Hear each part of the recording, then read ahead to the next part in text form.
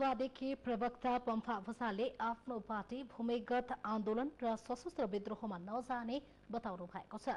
हिमालय टेलिभिजनको साप्ताहिक कार्यक्रम यक्ष प्रश्नमा कुराकानी गर्दै प्रवक्ता भूषालले निर्वाचन शान्तिपूर्ण तर सशक्त ढंगले बहिष्कार गर्ने पार्टीको नीति रहेको बताउनुभयो। कसैमाथि भौतिक आक्रमण गर्ने पार्टीको नीति नरहेको भूषालको प्रष्टोक्ति छ। जनतालाई अपिल गर्ने भयो।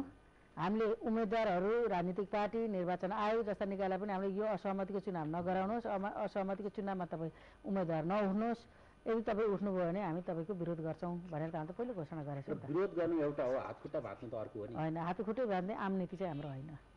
गाडी फोड्ने? गाडी नै फोड्ने भनेर पार्टीले कुनै निर्णय त गरेका छैन पार्टी नेताहरूले व्यक्तिगत सुरक्षाका लागि लिएका सरकारी सुरक्षाकर्मी पीएसओ फिर्ता गरेको भन्ने खबर असत्य रहेको भूषालको भनाइ छ। प्रवक्ता भूषालले ठाउँ ठाउँमा पार्टीका तर्फबाट भएका भनिएका भौतिक आक्रमणका बारेमा तथ्य संकलन गर्ने काम